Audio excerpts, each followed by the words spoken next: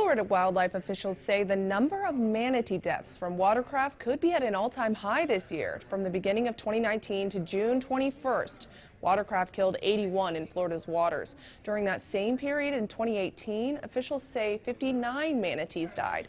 Toxic red tide and chilly temperatures are possible contributors to sea cow deaths last year. But wildlife officials say right now the biggest threat to manatees are boats. Katie Johnston, CBSMiami.com.